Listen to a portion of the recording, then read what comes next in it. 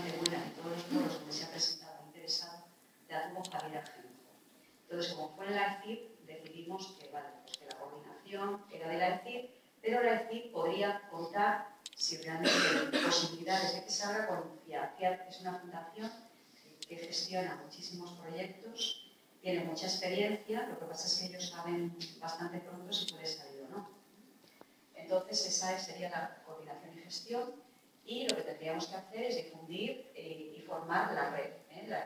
La, red de, europea de información y documentación de América Latina, con FISA, está dentro de esa tarea fundamental que es la difusión y formación de la red para presentarnos.